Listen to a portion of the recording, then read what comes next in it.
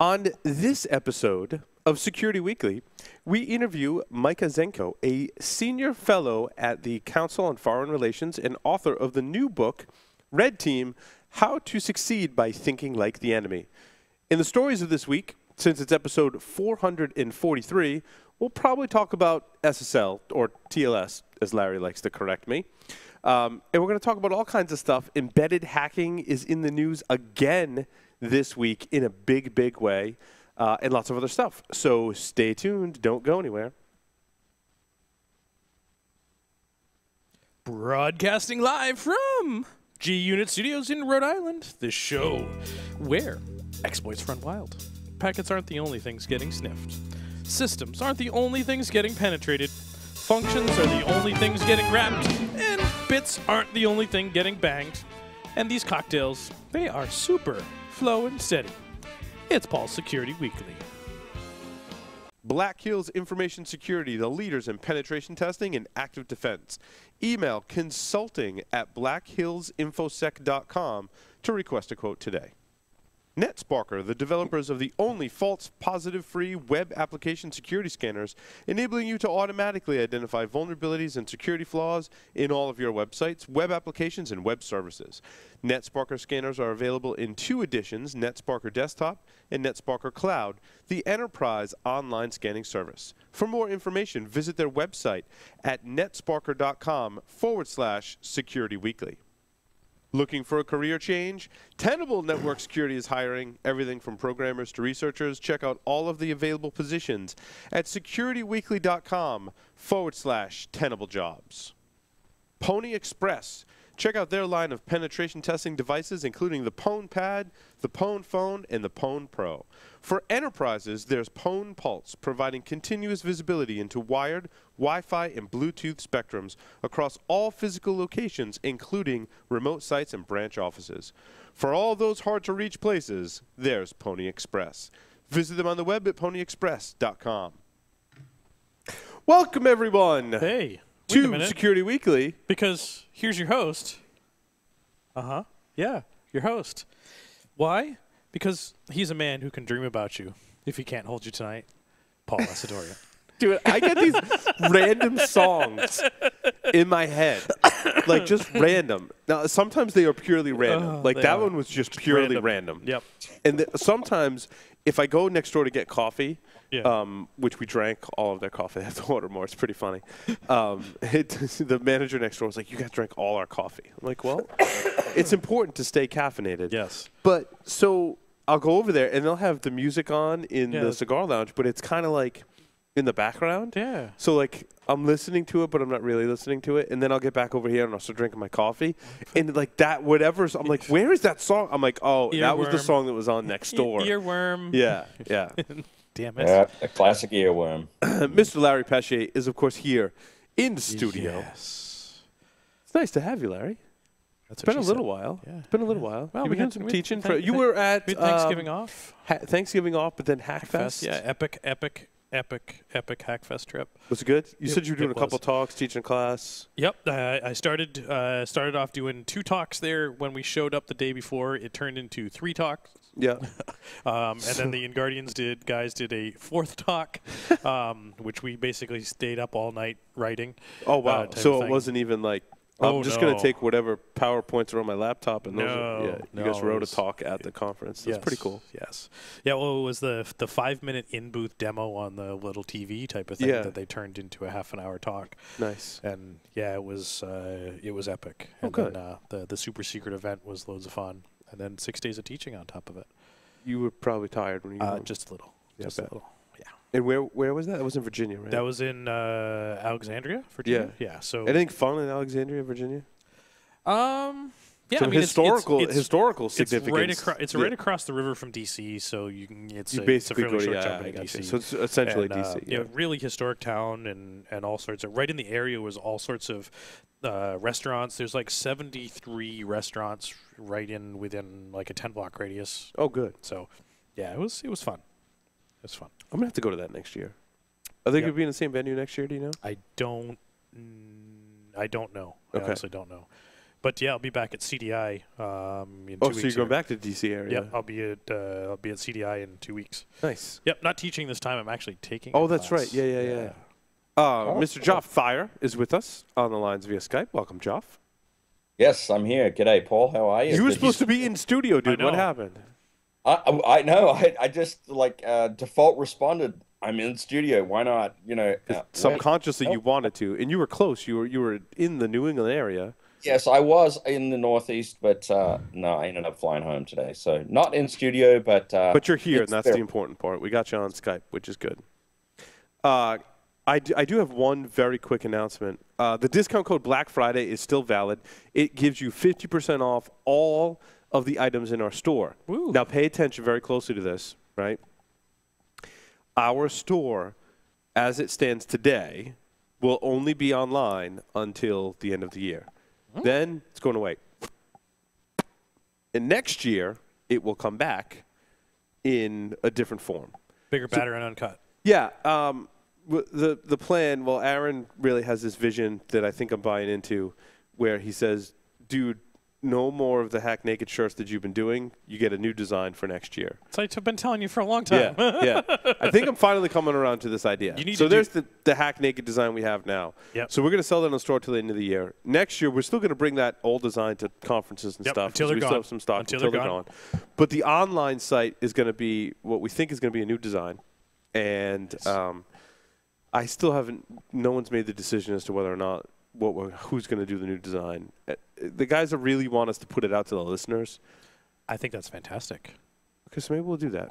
I think you're, I you're, think- you're, you, t- you too, Joff. You think we should put it out to the Yeah, listeners? I think we should put it out to the listeners. I think it'd be a lot of fun. Yeah, know, no, I, don't- I don't know what we're going to give the person that wins the, the new design. Yeah, yeah, we'll I- give them something. yeah, more I- than a T-shirt. I'm like, More- we no, give hell you yeah, yeah, more than a T-shirt. I got to give them something more than a T-shirt, dude. You're, like Yep. you're spending time designing a shirt for us. Yeah, my, my, my thought would be you think yeah, and uh, no, we're just talking out We're loud just- here. yeah, we're just we're just brainstorming. shooting, Nothing's shooting set in stone, my, my thought would be, you know, what would you pay an hourly rate for a graphic designer to come up with something for the shirt, and then you come up with something reasonable as, Right, a, as some like kind a of cash prize, prize. yeah. Well, you know, Um, I think uh, the, the uh, information security community is an incredibly creative group of people. I think we'd end up with some awesome designs come in. Yeah, we're a little washed out too, Nick, on the camera. Yeah, you want to adjust the, the white balance too. Sorry, we're we have one person behind the scenes today, so it's kind of interesting. Nick's going to be stressed. Yep. I he is. apologize. So, um, so yeah, so make sure shop.securityweekly.com. That's really only going to be there till the end of the year. We've got maybe five or six sweatshirts left from the 10 year. Wow. Um, we've got uh, tons of T-shirts left. Uh, some of the sizes might be running a little low. Yep. So um, after the first of the year, shop.securityweekly.com is going to basically have a message that say, "Yeah, we got stuff in stock. If you really want something, you can email us, but we're not making any promises." Yep. And then uh, I think we're going to use Teespring. So, Oh. So basically, custom you on- on upload your design yeah. and they ship them and send them to you. Kind of like CafePress type deal, but much better quality. Yes, it's what TWiT is, I think, using for their Very. T-shirts. So nice. uh, we're going to do that next year, and of course, have special stuff to bring to conferences still. But the Absolutely. online stuff is going to go is going to go there. So I just wanted to give our listeners a heads up. I mean, right now is your your best chance. I mean, basically, fifty percent off is the conference rate. I mean, we sell T-shirts for ten bucks at conferences. We have since two thousand and six. Yep. I think it was 2006 When the first the first time we offered T-shirts, they were 10 2006 bucks. ShmooCon, they were 10 Yeah, bucks, the and still cheap- today they're 10 Yep, bucks. one of the cheapest T-shirts at a con you can buy. yeah. I was Um, going to say that is a great deal. Yeah, too. and so now online you can basically get that same deal. Um, so go do that, and I'll leave that discount code there to the end of the year. So Yep. make Uh, sure you go there and, and get your hack naked gear. Yep. And that said, you know, we what do we make for money on a T-shirt? It's very very little. It's not much. I yeah, I mean, because the print them, it's maybe Yeah. You, to print them like your printing cost is essentially five dollars, but then there's shipping and then Yep. storage and Exactly. paying people to process orders and Exactly. Shopify exactly. costs money. So Exactly. So Yeah. I mean, like, there's very, very little margin is really- yeah. It's because uh, dr- the first run of shirts I think we gave out for free. we did. We they just said hack naked on the back. Exactly, It was yep. before the Mud Flap Girl. We did have a run before Mud Flap Girl. Yep. It was that the one with the eye, the shifty eyes. Yeah, shifty Yes, eyes and the it said hack eyes. naked on the back. Yeah, yeah. Yep. Um, man. Okay, so I want to introduce our very special guest for this evening. Uh, Mika, God, it's about time. I know. I'm sorry. Micah, Micah Zenko is a senior fellow in the Center for Preventative Action at the Council for Foreign Relations. Ooh, sounds fancy. Yeah, he is also the author of Red Team: How to Succeed by Thinking Like the Enemy. Micah, welcome to the show. Very glad to be here. Thank you so much. Yeah, I apologize for the, the delay tonight, um, but it's wonderful to uh, to have you here.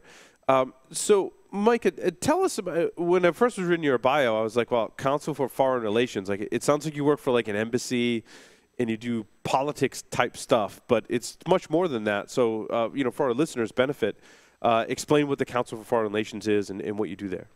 Sure. Well, I'm a lapsed academic who now does uh, has the privilege of doing research and writing on a broad range of sort of national security uh, and uh, I would say U.S. foreign policy issues. Uh, CFR is a think tank. Um, it's a considered like a polite uh, centrist member. Uh, it has members. You can uh, apply to become a member. Mm-hmm. CFR has been around for like 90 years.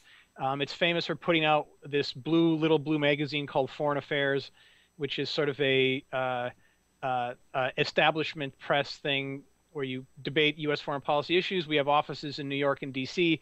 And I'm based in New York, where I've been here for about seven years. And mm-hmm my beat is everything from the United Nations to I'm sort of known as the quote drones guy, uh, mostly looking at uh, drones used for lethal counterterrorism operations. Uh, but I also um, have spent the last five years interviewing over 200 people for this book, trying to understand uh, red teaming across the different fields. So you have a very much uh, security focus then.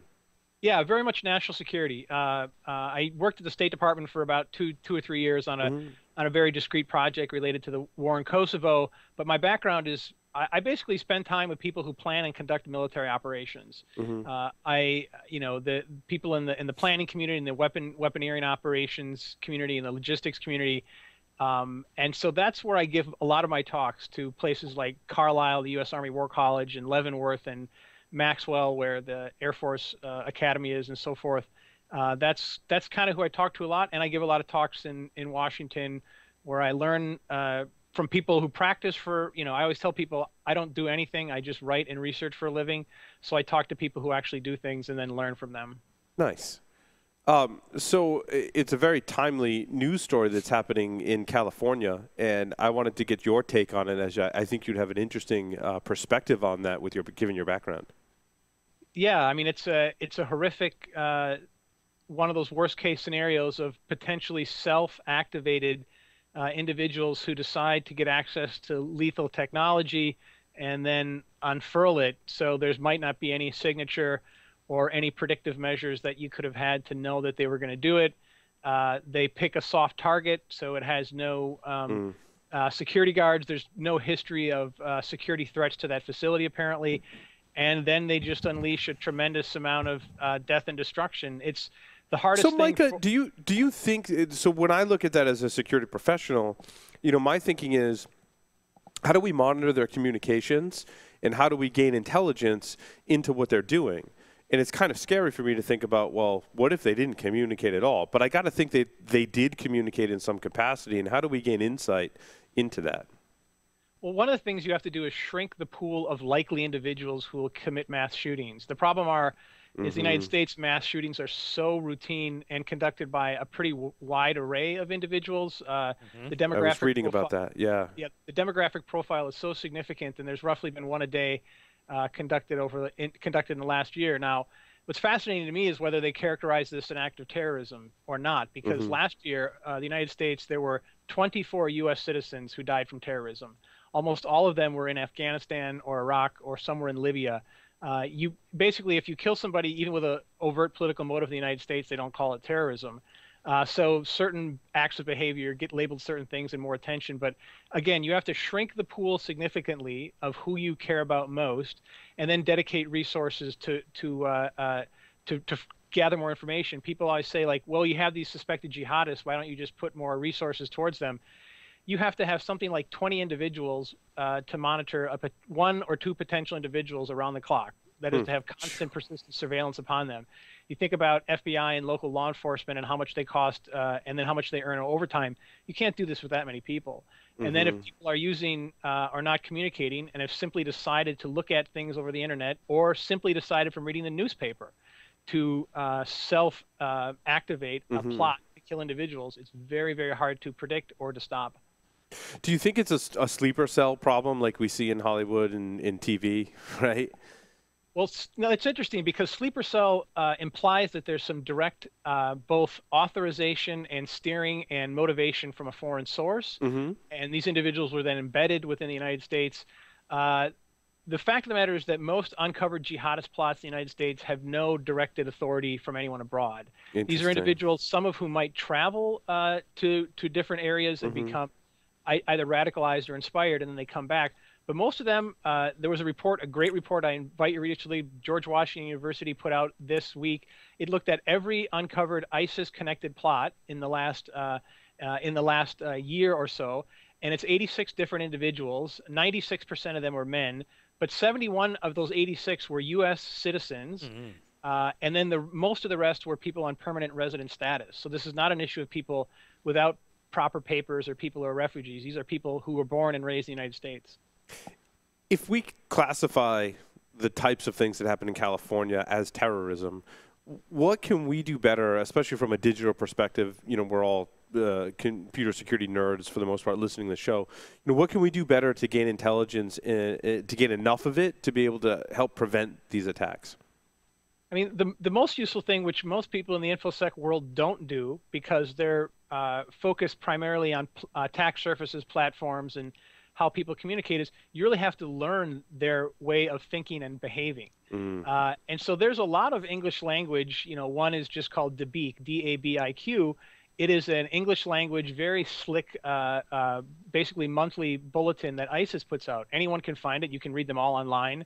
Uh, they give a really uh, interesting insight into how they speak, but you really have to sort of know where the message boards are, have some sense of the platforms and the communication uh, apps they use, and then from there try to get some build pictures of your threat, build pictures of your adversary, and then you can do a better job of trying to understand it, and then when authorized by relevant law enforcement, uh, potentially penetrate to gather further, to exploit and gather further info.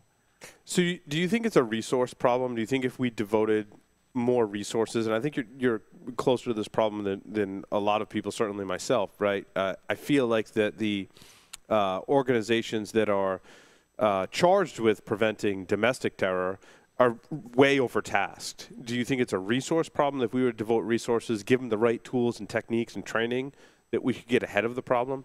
Well, it's not necessarily resources, although resources help. I mean, it's interesting to go back to the 9 11 attackers. I mean, the 9 11 attackers uh, passed through uh, uh, transit and border points that were supposed to be screened and monitored something like 60 times. They operated freely in San Diego and Maryland and Oklahoma. Uh, people always talk about safe havens. Like the safe haven was in Maryland, the safe haven was in Boston, it was in Hamburg, it was in London. Uh, it is much more difficult for jihadists to behave in that way. Uh, Right. and so in some sense it's it's less about money than it is about uh, common sense security practices training uh, regulations and sticking to them and then just doing covert testing to un- unfurl vulnerabilities but the the group that i've spent the most time looking at and i've uh, m- i mentioned them in the book is the nypd and spe- specifically their counterterrorism bureau which is essentially like a cia combined with multiple SWAT teams uh, combined with an, an impressive intel- intelligence analytical capability. And they do rigorous uh, uh, simulation training. They do tabletop exercises. Uh, so if you live in New York City, which is the, as very clear, the number one target for these groups, uh, you feel pretty safe and secure because they throw a lot of money and personnel at it. Interesting. Interesting. Um, Yep. So, Uh, uh, go ahead, The, the, the, the NYPD guys that I've interacted with are absolutely fantastic. They are. I mean, they're on their game. I yeah. think, Oh, and yeah.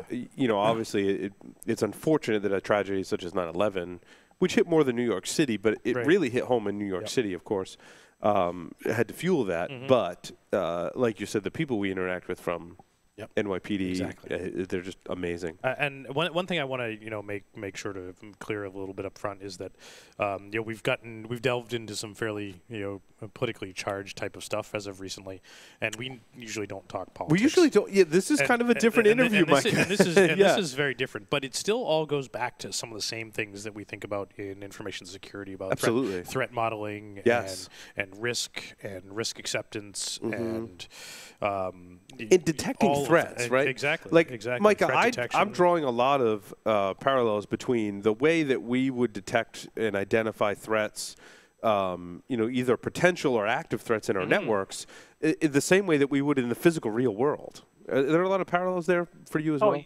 yeah, absolutely. And and the ironic thing is is uh, as you all know, people in the infosec community do not talk to people that often in homeland security, Mm-hmm. and people in the private sector probably don't spend enough time with their local law enforcement and FBI. Uh, they don't know the you know the DHS cert vulnerability uh, disclosure process. Like the people who should be learning from each other because there are commonalities and principles that they all worry about and you get them you know i've just sort of learned in the process of the, writing this book is that you talk to people at the nypd and they keep saying to me well tell me tell me what does this other group do? What does the U, how is the us army doing this? And then i talk to just various you know pen testing firms and they and i also talk to a lot of people who have just either in or just came out of the nsa and they tell me what is the nsa doing? And then i talk to dhs and they say what is the fbi doing? And so hmm. the, the the sharing of threat information the sharing of best practices the sharing of how to you know restructure your networks how to how to test and practice command and control how to figure out who makes the decision when it's necessary this really doesn't happen that often uh, but the, co- there are common issues that that exist all across these different fields Mm, absolutely. Micah, tell me a little bit about your book. and I guess first, um, what's the purpose of your book? And then the follow-on question of that is, what is red teaming? Because That's we have a lot of different definitions for red teaming, I think. well it's funny because i, I describe red teaming as, as this 90-10 problem because 90% of the population has no idea what it is so i have to explain it to them by giving lots and lots of vignettes and stories. But the 10% who know have very almost closed-minded and proprietary ideas of red teaming. Uh, they they do red teaming, and their red teaming is really the, the best red teaming uh, that's out there. Ironically, red teamers tend to be sort of closed-minded uh, when they when they think about what they do. Um, but you know, I was just fascinated with this topic, and I and again I come to this primarily from the how the how the U.S. military does it, how the CIA does it, and you know I, I feature the CIA's Red Cell, which is a out of the box, uh, outside of the mainline authoritative analytical uh, units. And I, and I just kept seeing red teaming popping up everywhere. And I've and this is I've been gathering just information over the past 10 years or so. And I was wondering why hasn't there been a book that looks at this across different Right. fields? Oh, clearly, Mikey, you've said too much. They're coming for you. That's right. yeah. Now, Micah, uh, when you talk about uh, a CIA red team, for example, are they, uh, or uh, they, they could be both, right, or separate teams? Are they red teaming against the CIA in the U.S. to make sure that the, our own uh, intellectual property and, and uh, information is secure, or they red teaming against the enemy to see what information we can gain, or probably both, right? So I break down red teaming into three types. So there's the one you all know, which is the classic sort of vulnerability probe pen testing. And then I look at red teaming simulations, which is Yep. I point out in the book the NYPD tabletop exercises, very rigorous responses to before the Pope visits, before the marathon, before the first Super Bowl here, what what would happen with all these scenarios. And then the final one is alternative analysis. Now, alternative analysis is everything from business wargaming to team B exercises to really out of the box future scenario planning. And the red cell was created two days after 9/11. Basically, George Tenet, who was the CIA director at the time, called mm-hmm. his head of the analytical side of the house of the CIA, and he said to her, "I want you to create a group of people who know nothing about terrorism, and all they do is think about strange and weird scenarios that will piss us off and will make us think differently." And subsequently, and they didn't have to go through any of the other vetting process for their products. They didn't have mm-hmm. to coordinate their products and they self-tasked, which is critical. So no one told them what they could work on. Um, and so the red cell has grown to this very day to roughly 20 people, and they do truly out-of-the-box, strange scenario, Team B, uh, alternative analytical techniques. Now, the people who try to break into the CIA, that's the NSA's uh, Tailored Access Operations Program. Um, And they do this both. Uh, they do this for the CIA. They do this for the military commands like Central Command in the Middle East and Pacific Command in Hawaii. Uh, and they do very rigorous and serious uh, uh, red team penetration tests, and what they find is often very disturbing. So it's interesting, though. You know what you term as red teaming in the CIA to think about out of the box thinking about what the attacks could be. We typically call that threat modeling, and we do that for a lot of corporations. And it's interesting because it takes a certain mindset. I mean, not just it takes some creativity, right? But it, it, it I go back to Mike Poor's example of like your evil hat, right? Yeah. Like you got to have your evil hat on, and you got to think if I took what I knew Is that your evil hat? or what I yeah exactly this is my evil my evil Christmas hat. Nice. Oh my Um, God, If I took what I his knew and I- and I took some creativity and I thought evil, like what what Mm-hmm. what would I do? What would I do? And I, I that's I think that's a really powerful exercise. Well, a lot of people can't do it. I mean, that's one of the things I I've really agree. learned at, at Fort Leavenworth, Kansas, where they teach uh, Army majors and lieutenant colonels how to become red teamers. One of the one of the longtime instructors there, I was meeting with him, and he curled his tongue. He goes like that. He goes, "Can you curl your tongue?" And I said, "Yeah, I can." He goes, "See, some people can't. Some people Huh. can't think in a malicious, devious way. Some Right. people cannot think about uh, bodies on the ground, people being killed. Uh, it's one thing to, you know, check the front door to try to break in. It's another to, you know, pose as the HVAC people break in and then to cause real, uh, to, to just exploit the vulnerability to this greatest extent, which is what a really devious, creative red teamer does. Right. Um, and lots of people just don't have that personality profile. Well, and the di- the difference is right. There are people who can think that way that want to do good, and there are people who think that way that want to cause harm and do evil. And, and there's a very finite line between those two people, and we like to cultivate the people that, like a lot of us on the show and listening to the show, that can think evil and want to do good with it. But there are uh, obviously a lot of people out there that want to do harm. Well, clear. I mean, one of the examples of this, and it's an out-of-the-box sort of unit, which is Navy SEALs. Like the U.S. Army Delta Force, which is their big counterterrorism team, they grow them from the Army. So you go to the Army, you're infantry, you're ranger, and then through selection process, you become a Delta Force member. But the Navy SEALs are very different. They don't cultivate from the fleet. They take about 90% of their people, just guys off the street. Really, I didn't. I didn't know that. I knew well because I read the book uh, Inside Delta Force by was it Eric Haney? Yeah. Yeah, a great book, which was the basis for the TV show and all that stuff. Um, so I, it, that was awesome to gain insight into that that branch. But I didn't know that Navy SEALs will recruit from outside the Navy. Yeah, I mean, and that and what they're looking for are just people who are weird and different. Many of whom, uh, if they weren't in the service, might be criminals, uh, uh, or, or might be engaged in sort of abnormal asocial behavior, uh, and that's part of what they look for, right? So, so it's really it's really hard to find people who both are willing to, uh, uh, you know, maintain good order and discipline, but also be uh, creative and devious thinkers as well. It's interesting. Micah, who were some of the more interesting people uh, that you interviewed for the book that you want to share with our, our audience? You said you interviewed over 100 people for your book? Over over 200. 200. So who are some of the more interesting people? I mean, not to pick any favorites, right? But share some stories. Yeah, so I mean, interestingly, one of the guys I really learned a lot from was General Peter Schoomaker. Uh, General Schoomaker was one of the founding members of Delta Force in 1981, Yeah, I was going to Uh, say that name rings a bell, probably from reading the book that I read. Yeah. and he later became the Chief of Staff of the Army under Donald Rumsfeld in 2003. But what's fascinating was that he was a member of the famous uh, Delta raid in 19 April 1980 into Iran to try to free the hostages. That was the f- And- that was the really that's a sore subject with Delta Force, right? That was It- one of their it failed their failed missions. Yeah. It is, and and and the, the, I mean, there was a lot of. It's a really great example where they didn't think through all the. They didn't do what you know in the army they call a pre-mortem analysis, which is every way that this plan could fail, and it's also one of the reasons uh, that the army does red teaming, and what and the red teaming they do is very specifically uh, to do pressure test uh, murder boards of operational plans because they've learned that the guys who write the plans they spend 16 hours a day in a room locked together they're on as they call it mission lock. All they want to do is accomplish the job and you need an independent outside set of expert eyes.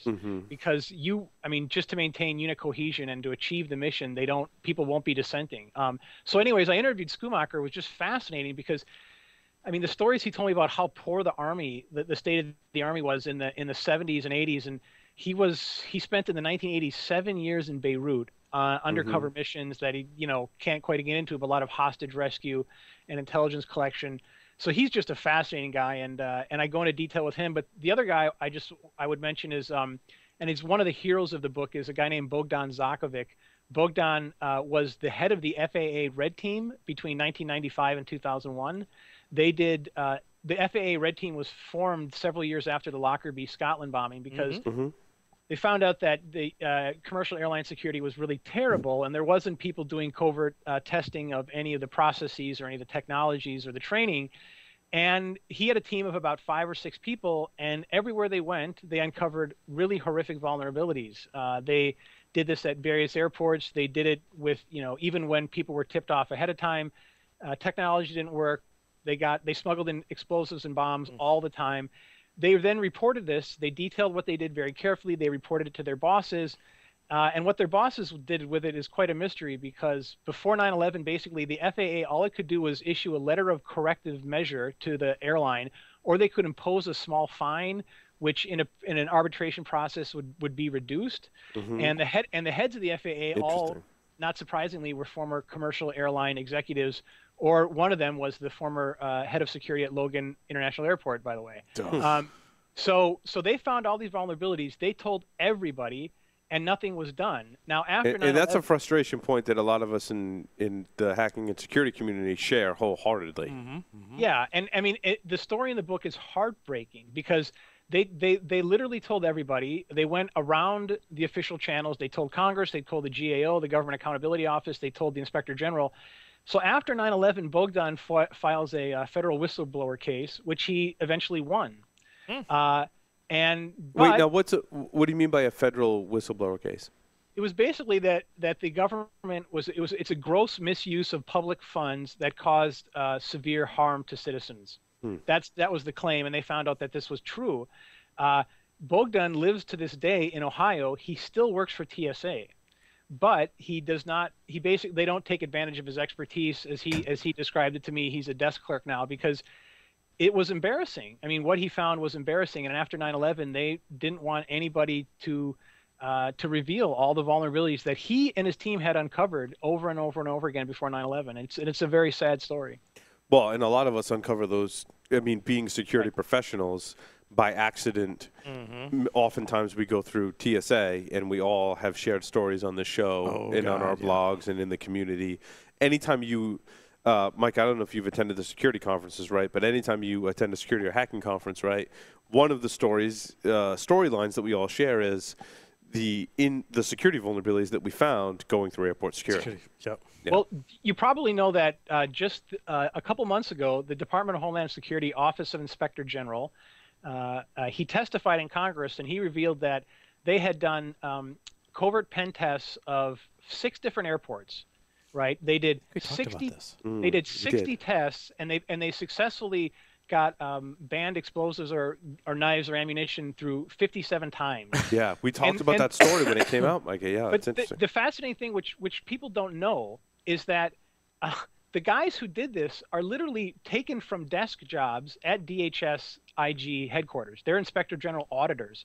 They are then told try to smuggle this through this checkpoint, this TSA checkpoint. So they have no training in security. They don't Oh, do any surveillance. They Mhm. just try it. They just try to get their way through, and they succeeded almost every time. So there's some nervous desk monkey thinking they're going to get busted. Well, I mean, as a result of this, again, you don't do red teaming to embarrass or humiliate. It's to improve security ultimately. And they've done about eight hours. They gave over 50,000 TSA agents eight hours of really intensive screening. They recalibrated some of the uh, some of the screening technology. Um, and they've done a little better job with leadership. That's also why the security lines, if you've gone through airports recently, have gotten longer in the last month or so. Uh, but they, they found the vulnerabilities. And again, that's that's the whole point of my book and the whole point of red teaming is I always say you cannot grade your own homework. Maybe maybe Yeah, that's why my yeah. ba- that's maybe that's why my bag got tossed at the airport last time I went through the pre-line, and I thought she, the the X-ray tech was just being lazy. Yeah. I think she still was. but Yeah, I I mean it's a difficult it's a difficult thing to implement at scale, right? And when we talk Right. about mm. airport security, we've all read the many of us have read the articles about how uh, Israel does security in their airports. We're like, well, why can't we apply this model to the U.S.? And I think it largely is the a matter of, Look at the of scale, Yeah. right? How, Micah, many, is how many airports are there in Israel? Well, if you've ever flown to Israel, uh, you go through, and, and from an airport in New York or New Jersey, for example, you go through U.S. screening, and then you go through El Al screening at the at the at the uh, Uh-huh. gate. Um, and those are people who do nothing but that job. These are, uh, I mean, everyone through military service. They, they a lot of them come from police intelligence backgrounds. One of the one of the myths is that U.S. federal uh, TSA people can't do quote profiling. Actually, they can do profiling, but as one DHS official told me, we assume our people are too stupid and not trained to do it well. Uh, Israelis do it as a matter of training and a matter of principle, so they're actually really, really good at it. Uh, um, and so again, there hasn't been an El Al airliner uh, any noticeable threat to one, except for uh, not from the air. There have been uh, surface-to-air missile uh, attempts at one in Kenya uh, a couple of years ago, um, but there hasn't been any any known uh, uh, breaches of El Al security in a long Do- time. I, I don't know if this is still- still the case, but I had a friend that used to fly a lot on El Al. Um, do they still have armed uh, guards on all the airplanes? Well, I don't know if they announced that, but my my assumption is they do. So my, my understanding was that he I seem to remember him mentioning was that it, whether or not it was announced, it was obvious. Like there was a guy standing at the cockpit door with an AR, with an M16 Yeah. type of thing. So, but So, um, in terms of red teaming, Micah, what are some of the parallels between what we would term as a red team assessment in the digital world and a red team assessment uh, that takes on more of a physical uh, presence? Yeah, so, you know, I think a lot of people are starting to get the factor that the attack vectors and the attack surface to what you are trying to protect are more than your computer networks. And this is something that has taken a long time. Uh, but I think people realize more and more that radio frequency, physical, uh, digital, everything is open for, uh, um, for is, is, is an open vulnerability, especially with increasingly internet connected things. In many ways, it's very similar uh, because the most crucial aspect of both the physical pen test and a digital pen test is the initial scoping engagement and the conversation. Right. I mean, oftentimes it's a compliance conversation, either for uh, for HIPAA or PCI or something, and so the person just says, "Well, we need to do a red team assessment." And it's like it, it's described to me by a lot of people who do physical pen testing. It's like a therapy discussion, though, ultimately, because what they say is, "Tell me what you value most." And oftentimes it's a senior VP or a CISO, and they'll say, "Well, we care most about profits." And they say, "Okay, do you care about profits more than, for example, reputation? So if I doxed all your customers' information, would you care about that more? And they say, no, no, no. Actually, I care about that more than profits. And they say, okay, now we're starting to prioritize things. But mm-hmm. for the most part, most firms don't even know what they need to protect most. And unless you get that initial uh, engage, that initial conversation right, almost nothing else matters, right? Um, but this, and then and then after that, it's the same things both in both fields. For example, physical, they often try to scope the engagement as narrowly as possible. You know, Yeah. you can't you can't come in through third-party vendors. Mm-hmm. Uh, uh, you can't uh, try to, you know, uh, social engineer. Don't spearphish our people because we do spearphishing anyway all the time. Uh, you can try to come in through work hours, uh, through these approved sort of entry and exit points. Well, of course, that's not how anybody devious will think. So they try to cook the test as well. But most are simply done for compliance. Most are simply check the box exercises, um, and that's and that's a frustration that a lot of people on in both fields feel, as you all know. Micah, of all the people you interviewed for your book, who, who in your opinion, has the um, the best red teaming program? So the best that I found is in the United Kingdom. Actually, uh, the the UK Ministry of Defence has a small unit in Swindon, which is about 70 miles uh, west of London. Um, they have a, uh, a a teaching facility there where they teach military doctrine and they and they do research projects. And they have this fascinating. They call themselves the Red Team. They consist of about 10 people. Um, it's led by a retired one-star general, uh, Tom Longland. And so they do a couple critical things, which is there's no rank, uh, nobody wears a uniform. Um, they self-task what they work on. Um, they're well resourced. They and most critically, they have the power to say no. Uh, so a lot of people come to them and they say, "We want you to red team uh, um, this strategic proposal we have. We want really to think through it." Or they'll say, "We want you to red team how that we transport uh, soldiers from the from the United Kingdom to Afghanistan or something. Are there vulnerabilities there?" And they, in, in a series of conversations, if they feel that um, this is an inauthentic, cook, uh, cooked test where they will not be given the access they need, uh, they won't be talking to the right senior leadership, and nobody will do anything with their finding. They'll simply say, "We're not going to do it." Hmm. Um, a lot of people don't have that freedom of access. A lot of people are pen testing for the purposes of cashing a check, um, and a lot of firms are doing uh, red team pen tests simply to check the box that they have. But people that have the authority and the sort of flexibility to uh, escape those problems tend to be the better red teams. Did you that's, visit that's this? Cool. It sounds very like almost like movie like, right? Like fly to London and drive 70 miles and meet with these 10 like elite people. Uh, was it an in-person meeting or? Yeah, no, I, I went there. Uh, they're they're not an elite people. I mean, it's it's funny. Like I've been to Langley and went to the CIA headquarters, and I've met with the red team and mm-hmm. and the members there. Uh, these, I mean, red teamers. Again, I, I always say it's not magic. There's no silver bullet. These are people all of them are people and the red team composition is critical you want people with diverse backgrounds mm. you want mm. people who know how to play well with others you want people my, my term i use is fearless skeptics with finesse. That's really great. Wow. I like that a lot. Most most most red teamers are largely asocial and they like to sort of embarrass and humiliate. They like to pretend that they're smarter than the group or the targeted institution they're dealing with. But again if you embarrass and humiliate the institution rolls over dies and it doesn't learn. Um, so you know, it it people there's a there is a tremendous cachet that has been given to red teaming, and I think in many ways it's undeserved. Uh, uh, people think it is, you know, they like to say like we red teamed it, which means we've given it the best uh, assessment that we possibly can, but it's ultimately just um, uh, people taking an alternative perspective, taking an adversarial perspective, identifying blind spots, challenging assumptions, and there are some people who can do, who can do that, and some people can't. But again, it's all just people. Mm. Joff, Larry, do you have more questions for Micah? No, I think I've sort of injected in line. Mm. Joff. Joff. Uh, no, no, I, I, I don't have any specific questions. Uh, it's, it's just fascinating to listen, to be honest. Uh, sounds like you have a, a really interesting job. And a, a really interesting book. Yeah, I mean, I, I appreciate that. I, I didn't – I, I wrote the book because nobody had written it, and the more people I talked to, I kept saying, you know, I I, I interviewed these people at Sandia National Labs. There's a mm-hmm. unit there called IDART, uh, uh, Integrated Defense Adaptive Red Team. They've been around for about 15 years. Nobody knows about them. There's this group at Leavenworth.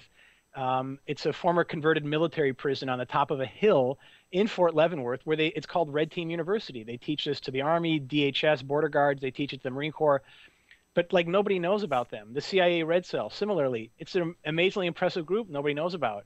Uh, NYPD tabletop exercises, all these all these people that through a lot of persistence and a lot of uh, bothering and pestering, they were willing to talk to me because over time you demonstrate you know something about a subject, and then people feel more comfortable. Mm. Uh, although I will say something which is similar to one of your previous guests, Mudge, mm-hmm. said, which I found to be very true, which is fascinating. Which is the private sector is far more secretive than the than the CIA or the military. Interesting. Uh, the private sector, because people, it's I proprietary information, people sign non-disclosure agreements.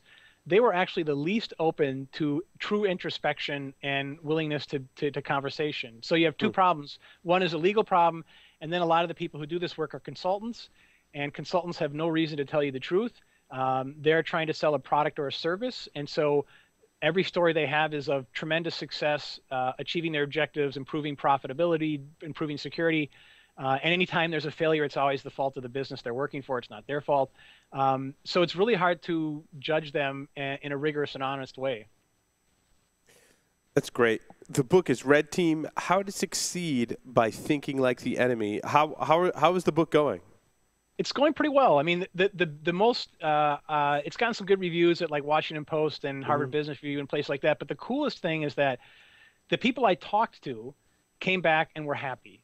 Now oh, every everybody in every field, like the pen testers I talked to, say you didn't get it quite right, and the Marine Corps and Army people I talked to say you didn't get it quite right.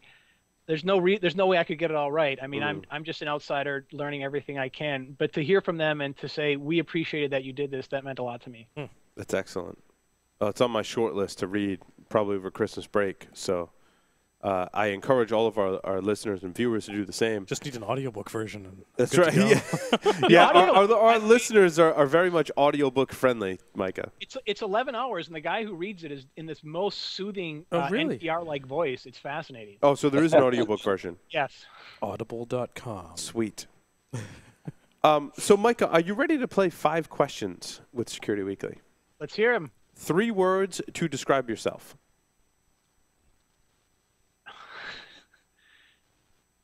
I would say skeptical Packers fan. Whoa. Whoa.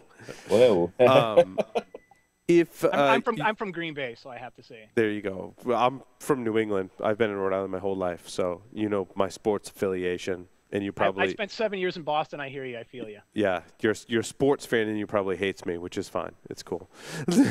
um, if you were to write a book about yourself, what would the title be? Uh, still learning. If you were a serial killer, what would be your weapon of choice? Hmm, that's a good one.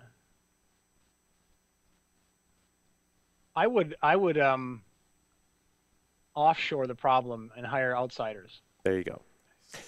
Excellent. YourmaninIndia.com. In the popular game of Ask Grabby Grabby, do you prefer to go first or second? I'm not even aware of the game. It's popular in in Europe. Uh, well, if it's if I'm in Europe, I suppose as an American, I'm supposed to go first just to demonstrate initiative. I like that answer. Nice. Choose two celebrities to be your parents. Oh boy, um, I would say the late painter Helen Frankenthaler, and to pick a, I have to pick a. Well, I can pick another woman too. Uh, Yeah. You can, yes, absolutely. Welcome to the 21st century, my That's friend. right. You can choose whoever you like. uh, no, I would say I have to pick somebody who. Oh, that's a good question. It's a Uh, tough you know, one. I, I, I would probably like. I, I guess I can't take my own parents. Um, you could. Some people do. It's fine. They're, they're not celebrities. Um, Yeah. You know what they they are in fact celebrities in your own mind. In your own minds, that's what some people go with. they, they- then I think I, I would take my parents, who I love very much and are wonderful to me. Excellent. it's becoming a more popular answer. It is. it's It is. between that and Angelina And Jolie. Jolie and Brad Pitt.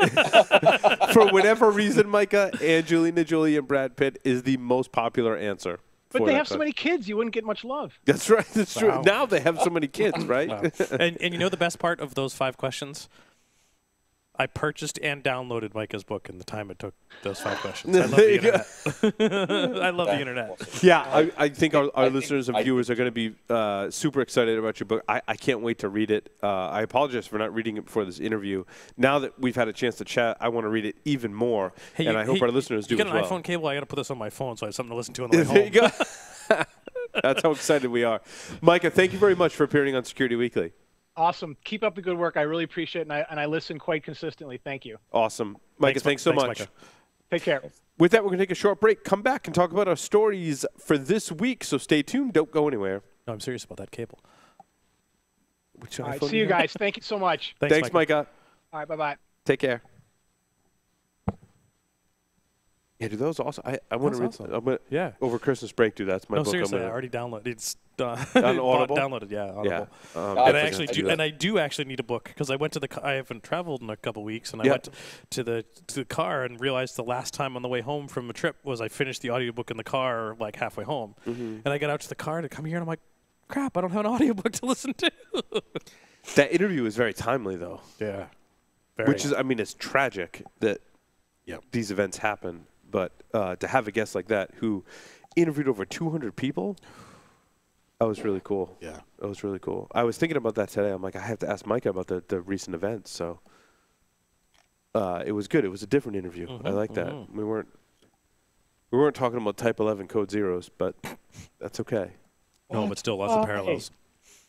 Lots of parallels. Yeah. Yep, and and I, I wanted to make sure that we brought that up in the beginning about the whole politics thing because you know we're going to get the. Yeah. We, we usually don't. Like, we don't don't. We, You know- in, we've been doing this ten years, and we've brought up politics so few times. And you know what, Larry? because it's that's interesting. not what it's about. the amount of times that we've brought up politics over the past 10 years, of all those times, and we could probably count them on two hands. We we could probably count them on one hand. Yeah, we, we never got any negative feedback either. Yep.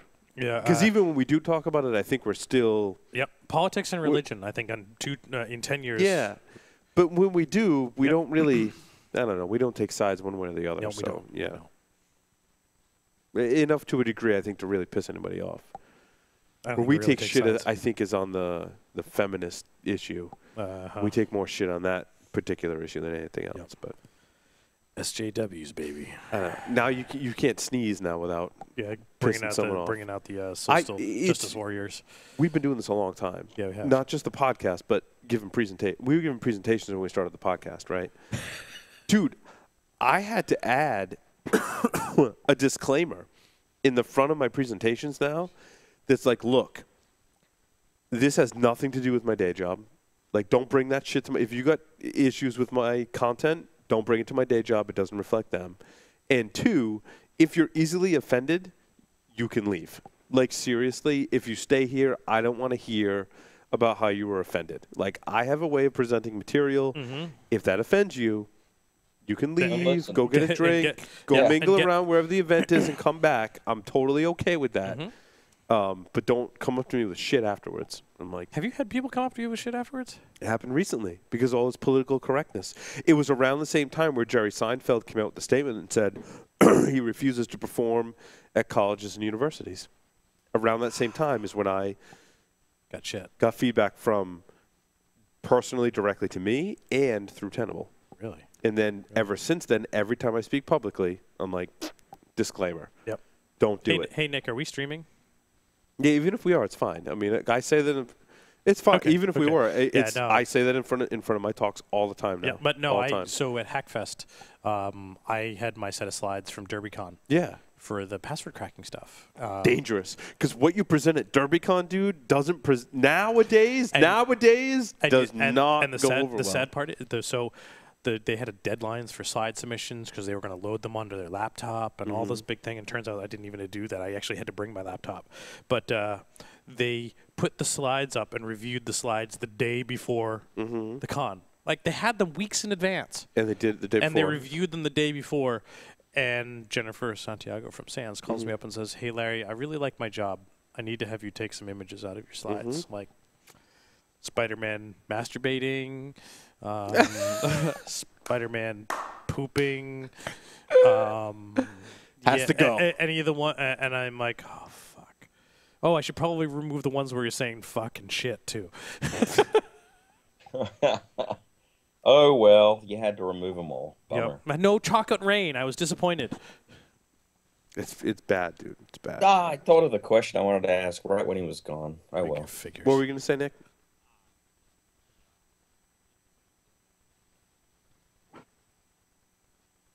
Mm-hmm.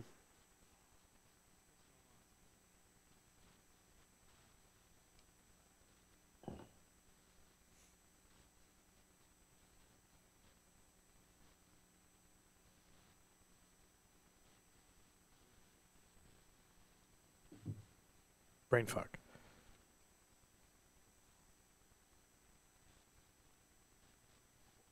That's it's bad.